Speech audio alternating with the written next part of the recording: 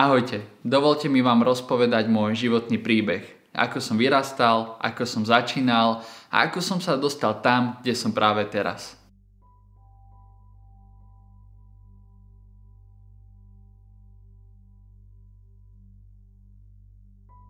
Na toto video som si normálne prichystal poznámky, nech nič nezabudnem.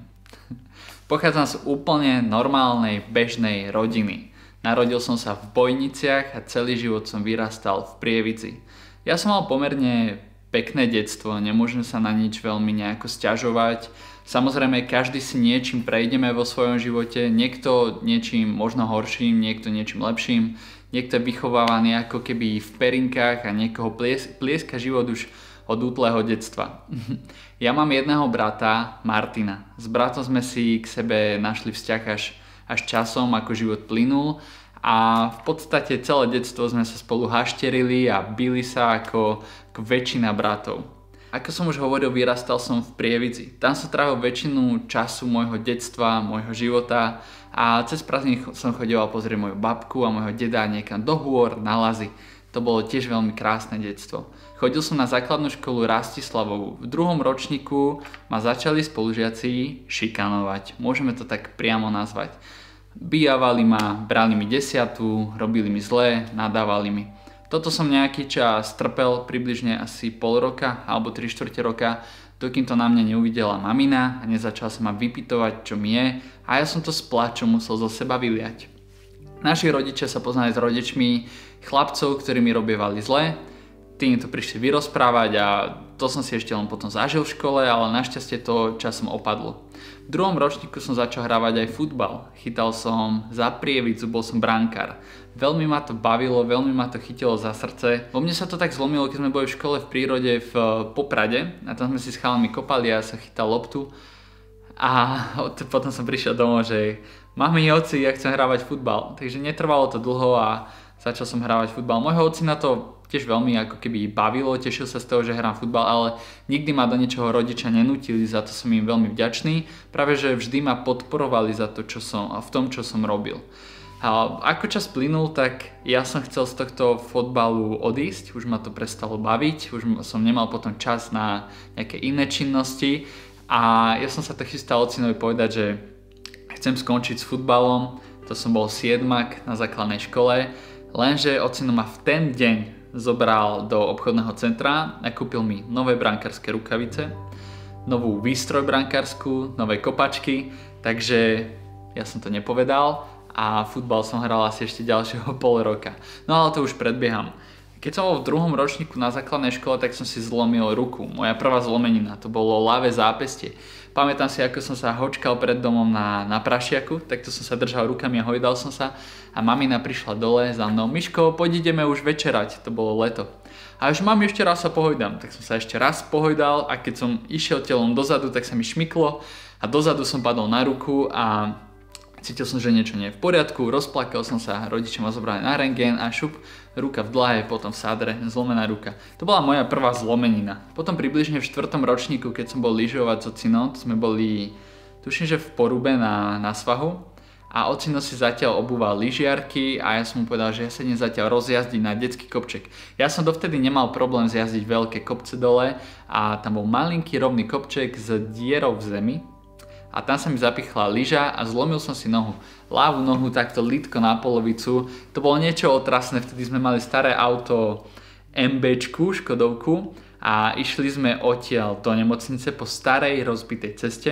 Ja som ležal vzadu na sedadle, vtedy som mal neviem koľko, 8 rokov. A celý čas, ak sa auto natriasalo, tak mi sa v kuse napínali svaly a tlačili mi do tej kosti a tá kosť tlačila do nervov, strašne bolelo, dali mi sadru, potom som si užíval voľno, lebo som ležal doma na gauči a pozeral stále telku. Dlho mi trvalo sa naučiť znovu behať, znovu kráčať, nekrývať.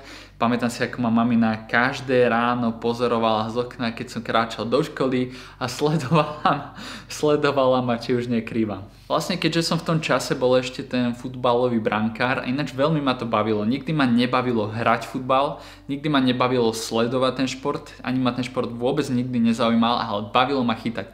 Bavilo ma byť takým ako keby ochrancom toho celého týmu. No a boli sme raz na jednom tréningu a ja som mal ruku, pravú ruku položenú na, na tyči, na bránke a spoluhráč zatiaľ chytal a ja som mal ako keby prestávku a niekto kopol silnú loptu a trafil akurát tú moju ruku, na tej, čo som mal položenú na tej bránke, na tej tyčke. Takže sa mi pekne rozmňaždili tieto tri hánky na zápesti. Išiel som za ocinom už taký kľudný, že oci, ja mám zlomené túto hánky, mám zlomenú ruku, musím ísť do nemocnice, nech mi to dajú do sadry. Ocino, čo si vymýšľaš? a tak, to nemáš zlomené, veď by si plakal. Tak som sa rozplakal, išli sme do nemocnice a áno, mal som to zlomené. No a vlastne v tom 7. 8. ročníku som prestal hrať futbal z dvoch dôvodov. Ten prvý dôvod som vlastne nikomu nehovoril, ale to bolo, že som začal hrávať počítačové hry.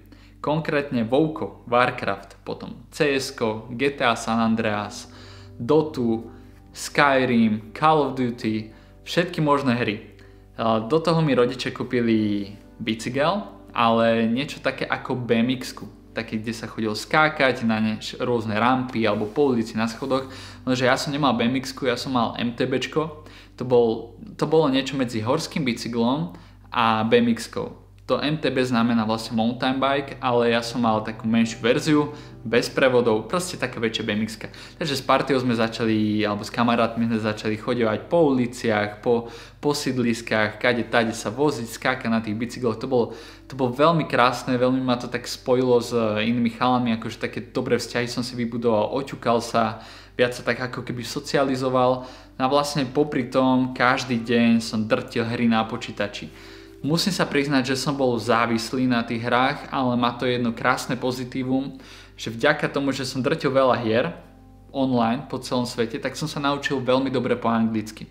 A ako sa hovorí, že všetko zlé je na niečo dobré, alebo respektíve neviem, či to bolo zlé, ale tým, že som hral veľa hier a naučil som sa dobre po anglicky, tak som túto angličtinu ďalej mohol teraz využívať v mojom živote na to, aby som sa lepšie vzdelával, lepšie učil, mohol pozerať rôzne prednášky, rôzne semináre, rôzne rozhovory, mohol čítať knihy, ktoré nie sú vydané v našom jazyku, môžem komunikovať s ľuďmi z celého sveta, mám klientku američanku, mám proste klientov, s ktorými komunikujem v anglickom jazyku a je to vlastne vďaka tomu, že som hrával hry v angličtine. Ja som sa angličtinu v škole veľmi dobre podľa mňa nenaučil, lebo v škole som mal z angličtiny trojky, štvorky, ale komunikácia mi vždy išla krásne. Gramatiku možno nemám dobrú, ale to mi je v podstate jedno, lebo dorozumieť, dohovoriť sa viem úžasne a to, že keď píšem správne pár gramatických chýb, však to robia aj ľudia Slováci, keď píšu po slovensky.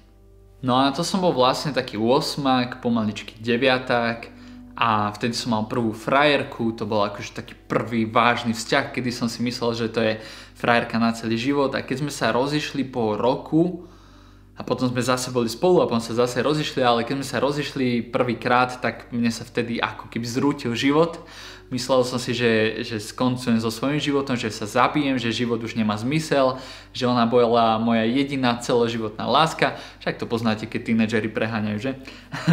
Potom prišiel výber strednej školy. Išiel som študovať za mechanika počítačových sietí do Handlovej na strednú školu. Každý deň som tam dochádzal. Zástavku som mal od domu iba kúsok, takže to bola taká výhoda. Išiel som tam so, so spolužiakom, s kamarátom, s mojim najlepším kamarátom vtedy a tam sme sa všetci spoznali, to sme boli čisto chalanská trieda. To, celý ten kolektív sa mi páčil, ale s odstupom času vám môžem povedať, že na tej škole sme sa nič neučili, nič podstatné. Jediné, čo sme sa učili, bola slovenčina, literatúra.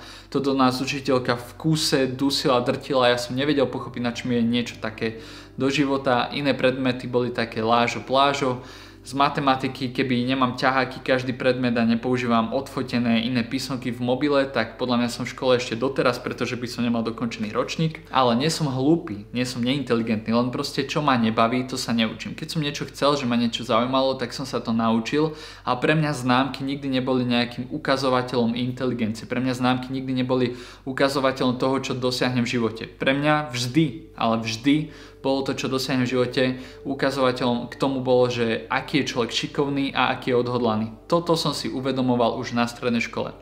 No a vlastne ako príde stredná škola a hlavne v tej handlovej, tak prišli prvé cigarety, prišiel prvý alkohol, prišla prvá tráva, prvá marihuana. Takže ja som začal v podstate dosť piť ak to mám takto úprimne povedať, už v prvom ročníku. Vlastne každý víkend sme sa ešte niekam opiť. Moji rodičia o tom samozrejme nevedeli, ja som to dobre zatajoval. Samozrejme občas som to prehnal a bolo mi dosť zle o, ostatné dni. No a vždy keď som pil, som vlastne aj fajčil a potom som skúsil aj marihuanu, pretože to tak kolovalo vtedy v partii. A vlastne takýto životný štýl som si viedol asi do 3. 4. ročníka na strednej škole. V 3. ročníku som začal cvičiť, pomimo toho už som mal asi tretiu frajerku a začal som cvičevať doma v pivnici dole, tam sme mali staré boxerské vrece. Ja som si vtedy myslel, aký som veľký boxerista, takže som udieral do vreca, kade ako to išlo, robil som kliky, nejaké drepy s vlastnou váhou, ktoré mi rozbili nohy normálne na týždeň. A tak som začal trošku viacej sa starať o svoje telo, pretože dovtedy ja som bol úplný pahil, úplný konár, ty koko, s rebrami trčali, mal som 56 kg, nosieval som vlasy také, také ako keby emo vlasy, emacké, vtedy sa to tak volalo. To som mával také dlhé, uležané, ulizané vlasy. Páčilo sa to vtedy babám, a, ale chalanom ostatným nie, ty si z toho robievali srandu. A, a vlastne ako som tak začal cvičiť, tak som si uvedomil, že je to krásne, že sa posúvam nejako fyzicky. Akože nevidel som na sebe nejaké veľké zmeny, pretože som len tak cvičila doma. Ocino mi potom kúpil dve jednoručné činky, dve jednoručky a ja som s tým cvičila biceps non-stop pomaly každý deň. Potom som začal cvičovať tlaky nad hlavu, ale o cvičení som v podstate nič nevedel. Potom prišiel maturitný ročník a ja som už začal mať také v sebe, že chcel by som menej chodiť s tými chalami na party, menej do klubov, menej by som chcel piť a viacej by som sa chcel venovať sebe, viacej cvičiť a hlavne som si uvedomoval, že som vo štvrtom ročníku maturitnom, neviem čo budem ďalej robiť v mojom živote. Naši rodičia sa vlastne zhruba rok predtým, než som bol v tom štvrtom ročníku rozviedli, takže s maminou sme sa s bratom stiahovali, bolo to pre nás dosť ťažké. Bolo obdobie, kedy sme nemali proste čo jesť, nemali sme vlastne za si z niečo nakúpiť navyše, ale mamina sa veľmi o nás starala a veľmi sa snažila. Za toto ja som jej do smrti vďačný, aká je to úžasná, skvelá žena. Odvtedy sa doteraz dali naše vzťahy s celou rodinou zase naspäť pekne dokopy. Myslím si, že všetko zlé je na niečo dobré. Som rád za to obdobie, ktoré bolo. Som rád za to obdobie, ktoré je teraz a som rád za to, že ma všetko niečo v živote niečo naučilo. No a vlastne boli sme v tom maturitnom ročníku a celú stužkovú som zariadil ja s dvomi kamarátmi. O všetko sme sa postarali, všetko sme zariadili. Naša stužková dopadla katastrofálne, vyhodili nás z tých priestorov asi o 3 hodiny skorej, pretože sme tam boli poopíjani, dogrcaní, doničili sme tam všetko, zvorali sme tuším, že aj predstavenie, takže to bola vizitka naša. Pre našu školu e, celú handlovú zakázali prístup pre ostatné budúce stužkové v daných priestoroch v Prievidzi. Takže asi tak. Ináč ja som dovtedy miloval čítať a to bolo, čítal som Harryho Pottera, Pána prstenov, všetky takéto, takéto sci-fi a fantázy a takéto romány. Učiteľka slovenčiny sa mi vždy smiala, že na čo mi to bude v živote, na čo čítam také hovadiny, že by som si mal prečítať Ivana Kraska, a morho by som sa mal naučiť a všetky tieto literárne diela z histórie, zo slovenskej histórie, no mňa to nikdy nelákalo. A na maturite bola aj slohová práca a moja slohová práca bola najlepšia z celej školy, dokonca samotná učiteľka ma prišla pochváliť a povedala mi, že no, možno jedného dňa aj knihu napíšeš. v podstate jediné, čo som sa učil na maturitu bola slovenčina, z toho som dostal štvorku z ostatných predmetov som dostal jednotky a dvojky. Zaujímavé. Na maturitu som prišiel zo Slovenčiny v hlave s tým, že jednu jedinú otázku si nemôžem vyťahnuť, pretože tú jednu jedinú som nevedel, alebo dve jediné. A samozrejme tým, že ja som myslel na danú otázku a hovoril si, prosím, nech si nevyťahnem 17 alebo aké číslo to bolo, tak jasné, že som si vyťahol to číslo. Ja som z tej otázky nevedel nič ceknúť, pretože to bola poézia. Mňa poézia vôbec nevadila, celú, uh, nebavila celú maturitu. Zo Slovenčiny som tam takto sedel za stolom a takto kýval hlavou a prikyvoval učiteľkám. A potom na vyhodnotení mi hovoria, no Michal, chceli sme ti dať trojku, a si hovorím, že za čo pre Boha, keď som nič nepovedal. Ale aby to bolo férové voči ostatným, tak ti dáme štvorku. Ja som bol rád, že som vôbec prešiel. No a prišiel výber toho, čo ďalej so mojím životom. Rozhodol som sa pre vysokú školu, informatiku, Žilinskú univerzitu a mala detašované pracovisko u nás v Prievidzi. Tá škola ma absolútne nebavila. Tam bolo toľko matematiky, čo som v živote nevidel, mne matematika nikdy nešla Proste absolútne mi to nešlo, nerozumel som tomu, lebo som o to nemal ani záujem sa to učiť. No ale v tom momente ma lákalo cvičenie stále viacej. Stále viacej ma lákalo o tom učiť sa niečo o našom tele, o tom ako funguje, ako by som ho mohol viacej rozvíjať a po prípade časom ďalej ako keby písať nejaké články, točiť nejaké videá. Už vtedy sa mi formovala nejaká vízia. Zhruba v decembri som už pochopil, že s tou školou to nebude mať žiaden zmysel, aj keď som sa snažil, proste nešlo mi to, neprechádzal som ročníkmi, chodil som do tej školy až do konca celého ročníku, ale zhruba v januári, keď sme mali nejaké tie jarné prázdniny alebo polročné, tak sme išli s chalami brigadovať do muničných skladov, do Novák.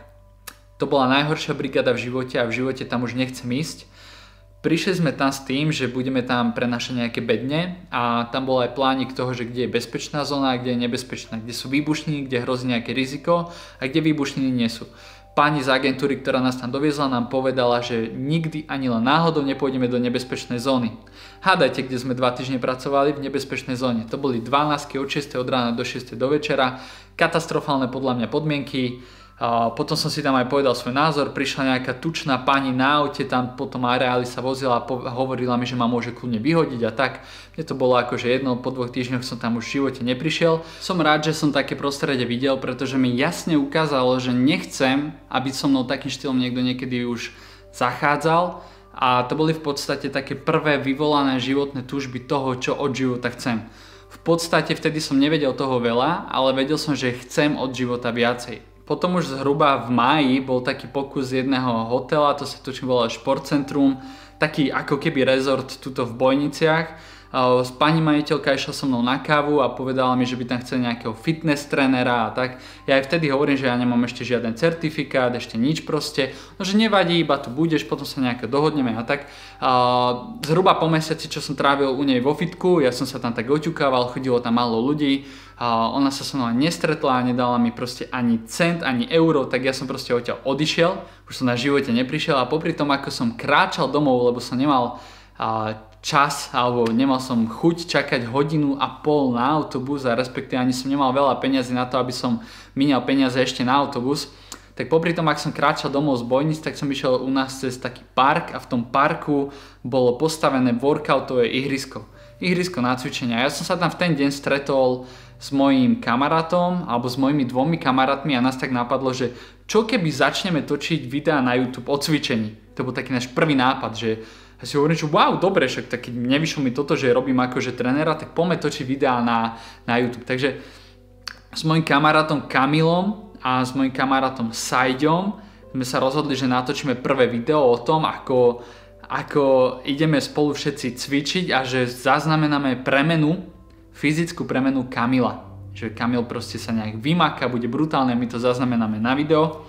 A vtedy nám veľmi pomohol môj kamarát Ondrej Drost, on má web blackbeardproduction.eu, on točí proste videá, fantastický typek, od nás nechcel ani cent, proste, no vtedy tiež začínal, tuším, a natočil s nami prvé úvodné video, kde som iba ja a Kamil, pretože Sajďo meškal asi hodinu na natáčanie a potom sme sa so Sajďom už vlastne nič netočili, iba ja a Kamil.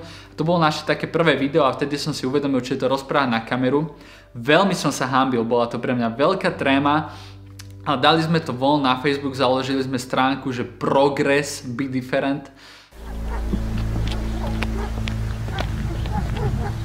Ahoj, ja som Michal, chceli by sme vám predstaviť náš nový projekt s názvom Progress, v ktorom chceme ukázať ľuďom, že zmenu na svojom tele môže vykonať každý, aj vďaka tomu, že workout je tu pre každého a zadarmo.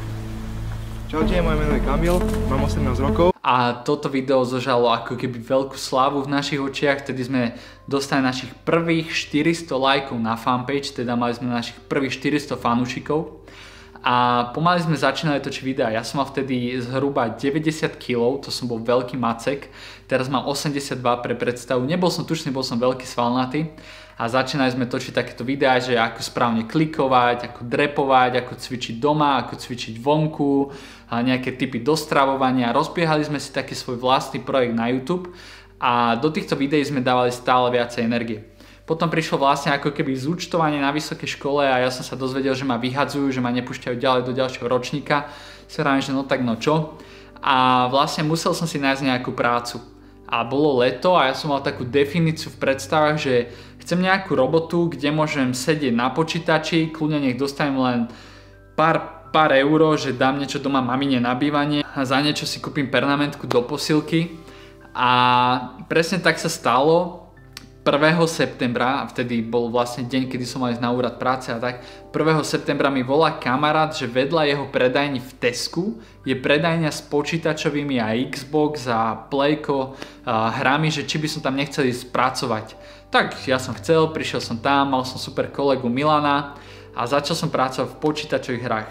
Bol som tam non-stop na svojom notebooku, popri tom som predával hry vždy, keď akože prišiel niekto si niečo kúpiť a vtedy som zarábal ty kokos asi len 300 alebo 350 eur mesačne, proste málo, ale bolo mi to jedno. Doma som dal mamine nejaké peniaze a niečo ostalo mne na stravu, na točenie tých videí a takéto všetky veci. Ale už nestačilo to, že sme, respektíve nechceli sme už otravovať Ondreja, nech natočí videá, chceli sme si točiť vlastné videá. Kamil mal zrkadlovku, takže s ňou sme natočili pár videí, ale pre mňa to nebolo ono. Ja som chcel takú svoju vlastnú zrkadlovku. Vtedy ja som podstate nemal žiadne peniaze, ale zrazu som začal chcieť mať kameru na točenie videí a ja neviem akým spôsobom som nazbieral asi 750 eur a vlastne za 800 eur som si kúpil prvú zrkadlovku aj s dvomi objektívmi, so statívom a tuším, že aj s mikrofónom Vtedy mi mamina alebo brat požičiavali 50 eur, ktoré som im potom vrátil a brat mi hovorí, že ty ako veríš tým svojim predstavám, keď minie všetky peniaze. Takže vtedy som už dosť tomu veril, že chcem niečo v živote vybudovať, že chcem niečo spraviť. Aj keď som ešte presne nevedel, kam ja budem smerovať v živote, ale už vtedy sme točili tie videá na YouTube. Tam sa pomaly zbierali nejakí fanúšikovia. V tomto období sme začali robievať aj tréningy vonku pre verejnosť. Úplne zadarmo. A chodilo nám tam 20, 30 ľudí, niekedy 10, niekedy 15, stále sa to striedalo a my sme sa vlastne vďaka tomu zviditeľňovali, že prišli mladí chalani v našom veku, mladší, ale aj starší ľudia a spolu sme všetci cvičili vonku na ihrisku, na workoutovom ihrisku. Bolo to niečo krásne, boli to krásne časy, rád si na ne spomínam, ak sme sa všetci tak dali dokopy, ak tam ľudia chodevali cvičiť, ale potom sme chceli, že za jeden tréning od každého po jednom eure, pretože my sme tam robievali aj súťaž, dávali tam proteínové tyčinky ako výhry, No a už keď sa malo platiť po jednom eure, tak ľudia od ťa odišli a nikto s nami už nechcel cvičiť, keď sa za to malo platiť, že to stratil nejakú myšlienku. A, takže ja som si povedal, že ja nám vybudujem nejakú web stránku, kde si budeme s Kamilom môcť písať články a budeme môcť ďalej šíriť nejaké posolstvo a možno, že časom budeme môcť ponúkať nejaké služby. Vybudovať takúto web stránku stalo dosť peňazí, keby si to mám niekomu niekde dať spraviť a ja som tie peniaze nemal. Mal som vtedy asi posledných 80 eur na účte a za 60 eur som zaplatil hosting, zaplatil som domenu a kúpil som šablónu. Za, za 80 eur dokopy. Som kúpil šablónu vlastne, cez čo som robil celú tú web stránku na tom WordPresse a našťastie som mal kamaráta Mateja, ktorý mi s týmto pomáhal, ktorý ma trošku učil aj cez ten internet. No a ja som sa oťukal nejako a zhruba trvalo 2 mesiace, kým som si poskladal vlastnú webovú stránku a na, tomto, na tejto webovej stránke sme začali písať články, písať príspevky, budovať Instagram, Facebook, ten YouTube a pomaly sa to stále viacej rozbiehalo a roztačalo vo väčšom. No lenže ja mám taký typ myslenia a také nastavenie, že vždy chcem dávať do všetko veľa a vtedy som chcel dávať do toho veľa, do toho celého projektu. Kamil, ten môj kamarát, on išiel študovať medicínu, takže on ani jednak nemal toľko času na to a jednak možno nemal preto ani taký zápal ako ja. Mňa to, mňa to trošku mrzelo v tom čase, to bol už možno rok 2016, som šplhal na lane, bol som fakt veľký vtedy a natrhol som si ľavú ruku na štyroch častiach, 4, 4 šlachy som si natrhol, zranil. Mňa to odrovnalo asi na rok od cvičenia. Totálne som nemohol otvárať kľúčku, nemohol som sa napiť vody, nemohol som proste rukou robiť nič a ja som veľmi schudol. Ja som za ten čas mega veľa schudol a veľmi ma to začalo deptať, pretože ja som nemohol poriadne cvičiť. Chudol som, web stránka tým pádom začala chradnúť, lebo mňa, mňa to cvičenie ako keby potom um, odrádzalo od toho budovania tej web stránky a ja som nevedel, čo bude ďalej s mojim životom ponorilo ma to do depresie, dovtedy som bol taký typ chlapca, že som si myslel, že všetky dievčatá ma chcú, ja som tu najväčší, mňa sa všetci boja, ja každého zbijem, keď budem chcieť a takéto egoistické reči som mal v hlave úplne doslova. A vlastne, aby toho nebolo málo, mal som vtedy psíka, šelbinku, to ona bola ešte šteniatko a kamarát nám ju chodila venčievať, keď sme boli zatiaľ v práci a v škole a ten kamarát nás vykradol, ukradol, nám, ukradol mi z cez 1000 eur, rovnako aj bratovi. A vôbec sme sa nedohľad, nedohľadali k tomu, aby to policia nejak doriešila, takže sme na to zabudli. A mňa to nejak ani nerozčulilo, neviem prečo, vtedy som bol ešte tak mentálne na tom, že ma to aj mohlo vlastne rozčuliť. A mal som, už strácam hlas, ty kokos, mal som zranenú tú ruku a prišli ku mne knihy ako Pokojný bojovník, Mních, ktorý predal svoje Ferrari, um, The Secret, Tajomstvo, Kľúč a takéto knižky a to boli vlastne prvé knihy, ktoré, ktoré vo mne tak zobudili takú, takú chuť niečo dosiahnuť v živote. A v týchto knihách bolo také učenie v jednej z nich, že musíte prijať to zlé, čo sa vám stalo, na to, aby, aby ste sa z toho zlého nejak poučili a posunuli ďalej. A vlastne ja som si uvedomil, že keď mám teraz veľa voľného času a nemám čo robiť celé dni a teraz čítam knižky vďaka tomu a čítam knihy vďaka tomu zraneniu, ktoré ma nejak posúvajú mentálne dopredu. Aj vtedy som bola na začiatku takého duchovného rastu a už vtedy som si uvedomil, že wow, ja som, ja som vďačný za to zranenie, pretože vďaka tomu zraneniu čítam túto knihu, takže vtedy ma zaplavili také prvé, by som povedal, prvé zimomriavky takého spojenia s niečím vyšším. Ak to viem tak, oh, teraz mám zimomriavky, ak to viem tak spätne popísať a to bolo niečo krásne a začal som využívať čas v práci úplne inak. A vlastne v tom čase je toho veľa, tak doskáčem teraz času do druhého času. A tá predajňa, kde som pracoval, tie počítačové hry, ja som začal mať tušáka vnútorného, že ona krachne, pretože to tam išlo stále menej. A hneď vedľa boli doplnky výživy, proste proteíny a proteínové tyčinky, kreatín a takéto veci. A vlastne to mal môj kamarát tú predajňu, alebo vtedy ešte len známy, on ma tam zamestnal, pretože chalan, ktorý tam robil tiež niekam odišiel, úplný vesmír sa vtedy dial. A takže ja som robil už v takej svojej branži vtedy. Nezarábal som o niečo viacej, zarábal som v podstate rovnako, ale išlo o to, že som sa tam mohol venovať aj tej výžive, mal som kontakt s ľuďmi, ktorí, ktorí cvičili, takže to ma začalo tiež lákať. Nakúpil som si knihy o anatómii ľudského tela, o cvičení, o výžive, o stravovaní a ja som ten čas v tej práci, ja som tam robil aj 11 hodín denne, samozrejme mal som aj voľno niekedy, a koľko mám ešte času, dobre. Ja som tam mal aj voľno a ja som ten čas začal využívať správne. Ja som každý deň začal čítať knižky. Čítal som knihy o strave, o cvičení, o našom myslení, motivačnú literatúru, ezoteriku a v kúse som čítal knihy. Všetko, čo som zarobil, ja som dával iba do stravovania, do kníh, do rôznych online programov, stále som sa vzdelával, takže som všetky peniaze, čo som mal, aj keď ich bolo málo, dával do seba. Vtedy to bolo pre mňa trošku aj také ťažké obdobie, keďže som mal tú ruku zranenú a trochu ma to deptalo, že nemôžem cvičiť, ale hlavne som začal stretávať mojich kamarátov zo strednej školy, ktorí už robili v zahraničí, tí zarábali 1500 eur mesačne, a ja som zarábal pár eur a nemal som nič peniaze vlastne a bol som taký, že ty kokos, že spoločnosť chce odo mňa, aby som ja už nejako viac zarábal, aby som si šetril na bývanie, aby som mal, ja neviem, auto a tak. Ja som takéto veci nemal a vlastne jediné, čo som mal, bolo, bolo moje odhodlanie, moja chuť do života, aj keď som nevedel, čo chcem, dosť ma to deptalo, fakt ma to musím prizvukovať, lebo veľa ľudí mi píše, že nevedia, čo chcú a tak, ale ja som tiež nevedel, čo chcem. Ja som, ja som len vedel, že chcem od života viacej. To bolo to, čo som vedel proste, že chcem niečo dosiahnuť, chcem niečo znamenať, chcem ľuďom pomáhať, chcem niečo veľké vybudovať, chcem sa mať dobre. Proste, keď neviete konkrétne, čo chcete, proste majte to aspoň všeobecne, ale majte to jasne dané. Majte jasne dané, že chcete viacej, že sa odmietate uspokojiť s tým, čo je Lenže kľúčom je byť ako keby OK s tým, čo je, ale nebyť s tým úplne tak, že tak to bude celý život. Musíte byť OK s tým, čo je, byť za to vďačný a smerovať dopredu, aby bolo toho stále viacej. No a keďže ja som ten čas venoval takému samoštúdiu, spoznal som tam môjho kolegu Freddyho.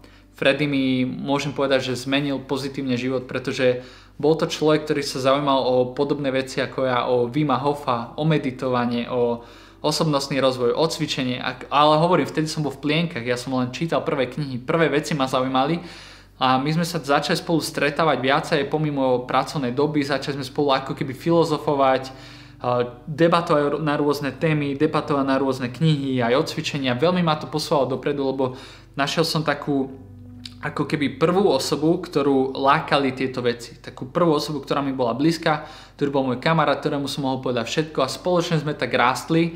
Časom sme sa od seba samozrejme oddelili, ale zase sa spolu stretávame, pretože zase si vieme nájsť na seba čas. No a popri tom, ako som tam pra- pracoval a čítal tieto knižky, ubehlo možno nejakého 3 čtvrte roka, bol taký rok 2016, bol stále rok 2016 a bola jeseň. A mňa vlastne celé tieto knihy vtiahli do nejakého spirituálneho prebudzania. A toto vo mne vyvolalo proste depresie, pretože nikto mi nerozumel v okolí, nikomu som ja nerozumel, ja som nerozumel svetu, nerozumel som tomu, ako funguje tento svet, nerozumel som tomu, prečo sa ľudia naháňajú za pracou a nenaháňajú sa za svojim vnútrom, prečo sa ľudia hádajú a nehľadajú nejakú rovnováhu, nehľadajú lásku. Proste celkovo som prestal chápať systému a vlastne v danom momente som si povedal, že keď som od života viacej tak, a to som si povedal trošku dávnejšie, že prestávam piť, prestávam chodiť na party a tak s tým som všetkým sekol, pretože som potreboval čas, energiu a peniaze na svoje projekty. Aj keď som presne nevedel, čo to všetko bude, ale vedel som, že proste ja si musím vážiť tú svoju energiu, ten svoj čas, ten svoj život, tie svoje vedomosti. Nechcem si ničiť mysel, nechcem sa hltať negatívnymi vecmi tak som vtedy začal aj pomaličky meditovať. Nevedel som ako, ja som išiel do toho intuitívne. Vtedy sa mi stalo vlastne, že som hneď asi druhú alebo tretiu meditáciu zažil také ako keby mierne oddelenie od svojho tela alebo miernu astrálnu projekciu, astrálne cestovanie alebo mierne le- levitovanie. Videl som rôzne farby, ja som sa nachádzal niekde vo vesmíre, proste videl som zázračné veci. Ako čas plynul a ja som meditoval každý deň a proste s čistým srdcom ma to lákalo, tak som sa začal rozplývať všade do priestoru to boli veci, ktoré fakt som nemohol nikomu okrem Freddyho hovoriť, lebo kto by im rozumel. Potom som videl u nás v izbe s bratom, to sme ešte s maminou vlastne bývali, a lietať v miestnosti takého hada energetického a ten mi vošiel do tej zranenej ruky a v priebehu dňa sa mi ruka dala o 70% do lepšieho stavu, takže ja som ho už pomaličky začať viacej a viacej cvičiť. Dodnes si neviem vysvetliť, čo sa s tou rukou stalo, ale vysvetľujem si to nejako, že ako keby tá, tá energia, ten had, tá kundalini mi ako keby pomohla toto vyliečiť. A vtedy som sa začal zaujímať trošku aj o anielov a tak, ale všetko to bolo, hovorím fakt, že v tých začiatkoch, ako sa hovorí, že ak príde správny čas a žiak je pripravený, tak sa učiteľ ukáže, tak ja som na YouTube našiel učiteľa, o ktorom hovorím často. On sa volá Elliot Hals, žije v, žije v Amerike a vlastne vďaka tomu, že som vedel po anglicky, vďaka tým hrám, tak som mohol pozerať jeho videá. Ja som videl snáď 1500 videí od neho, on každý deň dal 3-4 videá von o tom, ako byť mužom, ako správne myslieť, ako mať motiváciu, ako cvičiť, ako riešiť problémy, ako sa vedieť naučiť povedať svoj názor, ako správne vystupovať, ako riešiť problémy. Proste také videá inšpiratívne, osobnostný rozvoj, motivácia, proste veľa riešil a veľa mi dával a pri jeho videách som sa proste rozplakal v práci a uvedomil som si, že to, čo robí on, to je to, je to, to, je, to, je to práve posolstvo, ktoré chcem, že ja chcem rovnako ako on pomáha práve mne, ja chcem pomáhať ľuďom. A vtedy som si uvedomil, že ja musím seba vybudovať, ja sa musím budovať, ja musím byť silný človek, silná osobnosť, musím byť vzdelaný, musím mať veľa informácií, veľa zážitkov. Samozrejme, to chce všetko čas, ale ja som sa rozhodol začať točiť videá na takéto témy, aké práve teraz pozeráte. Dokopával som sa do toho asi 4 mesiace, až som si nestanovil, nestanovil taký svoj deadline, že na nový rok 2017 začnem točiť takéto videá. Prišiel nový rok a ja som hneď asi 2. alebo 3. januára začal točiť takéto videá. Hambil som sa, bolo to pre mňa náročné, chodil som točiť videa dole do pivnice, bolo 5 hodín ráno, bola úplná zima, tma, nikto nikde nebol, proste som sa hambil za to, že, že to robím, nechcel som, aby ma niekto pri tom načapal a začal som dávať tieto videá na internet na svoju starú stránku o cvičení, to Be Different vlastne. A potom časom 21. apríla 2017 som založil tento YouTube channel Michal Drienik a sem som začal pridávať takéto videá. A tieto videá spočiatku pozeralo málo ľudí, ale ja som sa nevzdával, pretože pre mňa nebolo cieľom to, že to niekto musí pozerať, hlavne na začiatku. Pre mňa bolo celým takým naplnením to, že ja to vôbec robím, že mňa to začalo naplňať. Ja som našiel fakt niečo také, čo ma naplňalo a vďaka čomu som mohol vyjadrovať samého seba. Toto ma stále viacej odkláňalo od toho, aby som, aby som točil videa o cvičení a viacej ma to ťahalo, aby som točil videa takéto ezoterické, motivačné, ale netrápil som sa tým, že točím menej videa o cvičení. Proste išiel som za tým hlasom svojho srdca. V tom momente v apríli som si začal robiť certifikát uh, kondičného trénera, aby som mohol začať robiť trénera, pretože mi bolo poskytn- bola poskytnutá taká možnosť u nás vo fitness centre v Prievidzi. A vlastne keď sa toto fitko stávalo asi tak 3 čtvrte roka dozadu, odkedy som si začal robiť certifikát, tak ja som bol prizvaný k stavaniu toho fitka bol som požiadaný, či by som tam vedel navrhnúť s kamarátom, s tým Kamilom, s ktorým som mal web stránku Be Different Progress ste možno z toho zamotaní, čo? A, že či by sme vedeli navrhnúť crossfitovú miestnosť, takže sme sa podielali na stavbe celého veľkého fitness centra a vďaka tomu som tam časom mohol začať robiť trénera, čo robím aj teraz v týchto časoch. Ale vlastne, ako som točil už takéto videá, tak ja som sa jedného dňa zobudil, že ja napíšem knihu proste zobudil som sa po poobednejšom tréningu, už som trošku mohol cvičiť s tou rukou, že ja napíšem knihu. Ja som proste nevedel, ako to spravím, nevedel som, ako to bude fungovať, ale ja som sa proste zobudil a napísal som si na papier témy, o ktorých budem písať a tak vznikla moja prvá kniha. Tak prvá kniha sa písala ľahko, úplne ako, ako po masle, lenže v danom momente, keď som mal písať knihu, tak ma prestalo lákať robiť čokoľvek iné. Prestal ma lákať čítať knihy, prestal ma lákať cvičiť, prestal ma lákať stretávať sa s kamarátmi, proste všetko pre mňa stratilo zmysel a v tom čase som si robil aj ten tréningový certifikát pre trénera, pre trénerstvo. Ty kokos, ja som myslel, že ma tam trafi, ak som tam sedel celé dni a učil som sa veci, ktoré ja som už dávno vedel Lenže ja som tam išiel s tým, že proste ja to chcem mať na papieri, že, že akože to viem, že som oštemplovaný tréner. Aj to bolo vlastne podstatné a dôležité z pohľadu zákonov Slovenskej republiky, aby som túto činnosť mohol oficiál, oficiálne legálne robiť. Uh, ale mňa to tam nebavilo, lebo nič nové som sa nenaučil, všetko som vedel z kníh, ktoré som mal predtým, pretože ja som naozaj veľa sa učil, veľa som si zaplatil online programov, veľa som videl online programov, seminárov, veľa som pracoval sám so sebou, veľa som študoval, mal som nakúpenú literatúru z vysokých škôl. Aby som vám teraz tie knihy vyťahol, ale zbytočne však hada mi veríte. A vlastne napísať knihu mi trvalo asi 3 mesiace a potom som si musel nájsť nejaké vydavateľstvo. Lenže žiadne ma nechcelo, napísal som desiatim a dve vydavateľstva mi odpísali, že sa na to pozrú o pol roka a potom som zistil, že vydavateľstvo vám dá z jednej predanej knihy zhruba 80 centov, lebo ešte sa delí s knihkupectvom a distribúciou, takže z toho mi prišlo úplne zle.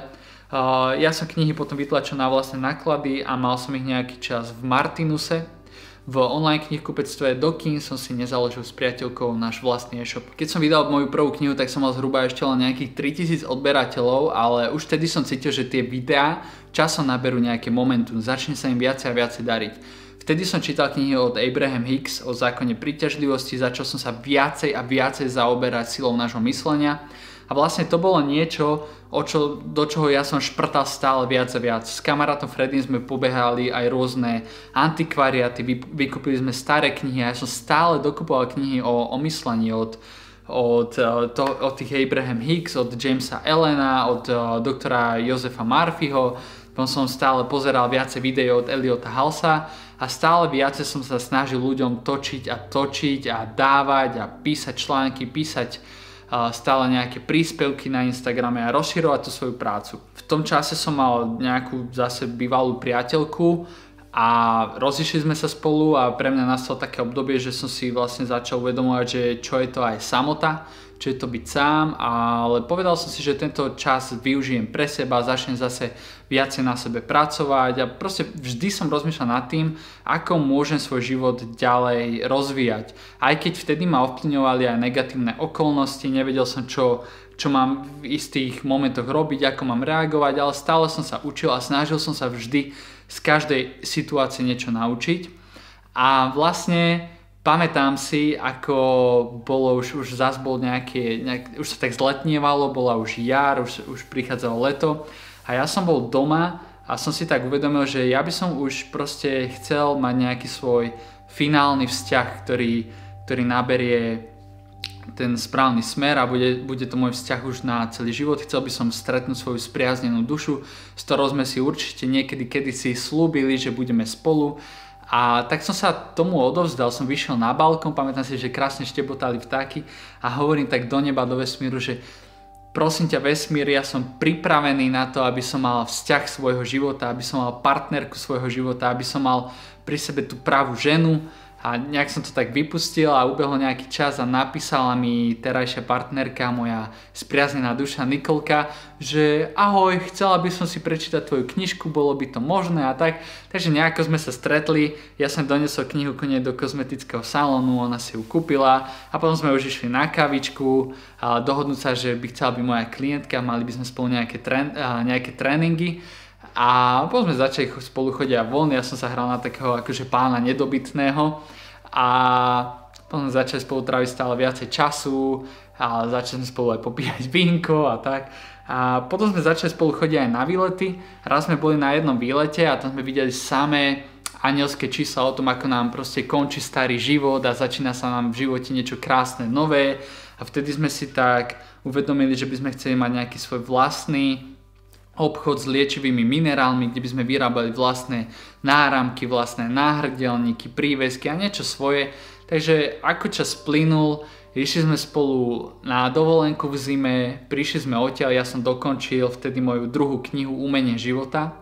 Tá sa vydala v marci minulého roka 2019 a moja kniha bola vydaná v roku, prvá kniha bola vydaná v roku 2017 v septembri a druhá v marci 2019, že som vydal druhú knižku a otvorili sme si spolu e-shop goodvibes.sk. Tento e-shop som, som sám dokázal spraviť, vyhotoviť na základe toho, že už som predtým robil tú svoju web stránku To Be Different a vlastne ešte som nepovedal, že na strednej škole som sa venoval grafike, proste nejakým animáciám a takým rôznym veciam.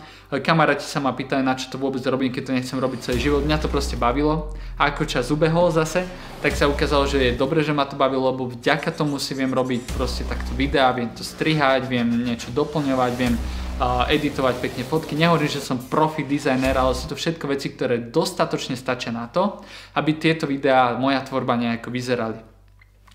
No a vlastne teraz sme tu, teraz píšem tretiu knižku a náš e-shop je krásne rozbehnutý, všetko vyrábame ručne, s láskou, všetko sa snažíme krásne stále rozširovať. Momentálne rozbiehame našu druhú značku s ekologickým, štýlovým, pekným oblečením. S oblečením, ktoré nezaťažuje prírodu a práve že bude produkovať financie na to, aby sme mohli práve že aj podporiť nejakú výsadzbu stromov a zlepšenie ekológie v našom svete. Toto video točím práve teraz, keď sú všade karantény, keď je koronavírus vo svete, kedy si svet zmyslel, že opantá mysel ľudí strachom a zahltí ich systém nejakou panikou, ale nenehajte sa zmotať strachom. Ja musím toto video už končiť, aby som vám povedala viac, len mi dochádza pamäť na pamäťovej karte ešte tak zhruba pozriem, či som nezabudol niečo povedať. V štvrtom ročníku na strednej som začal cvičiť v posilovni. To bolo chvíľu potom, čo som cvičil doma, to ma zobral môj kamarát do jednej školy, začal cvičiť a to bolo, to bolo krásne. A to ma začal vtedy veľmi baviť. Dodnes stále cvičím, rozvíjam telo, rozvíjam mysel, rozvíjam moju dušu. Pamätám si, ako som povedal do vesmíru, že by som chcel, aby ma vesmír podporil tisíc eurami na podporu mojej tvorby, aby som si mohol kúpiť nový notebook, novú techniku. Zhruba za pár dní, za týždeň mi napísalo, napísala jedna žena, že ahoj Michal, chcel by som ťa podporiť a darovať ti tisíc eur na to, aby si mohol točiť tvoje videá, aby si mohol rozvíjať tvoju tvorbu. to som zabudol povedať, to bol brutálny moment pre mňa, a vlastne po vydaní mojej prvej knihy som začal prednášať, začal som dostávať pozvánky na rôzne talk show, na prednášky, na súkromné akcie, začal som robievať vlastne pred pol rokom aj osobné konzultácie s ľuďmi, ktoré prebiehajú cez Skype, cez WhatsApp alebo osobným stretnutím. Takéto informácie nájdete na mojom webe michaldrienik.sk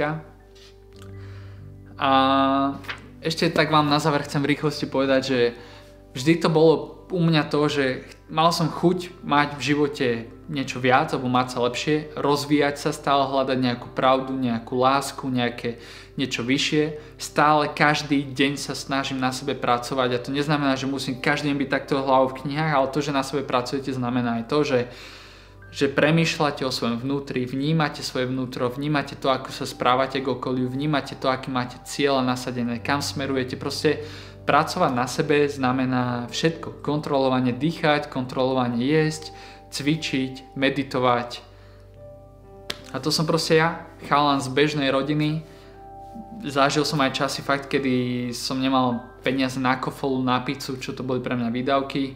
Ale vždy som chcel dať niečo do sveta a stále chcem a stále mám pocit, že som iba na začiatku mojej cesty a že dosiahnem toho ešte veľmi veľa a riadne sa takým pravidlom, že rastieme a stúpame tým, že pomáhame ostatným.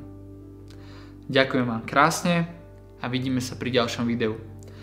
Podporte ma prosím odberom videí, koho toto video zaujalo, veľmi mi to pomôže a môžete ma sledovať aj na Instagrame pod menom michal.drienik. Namaste.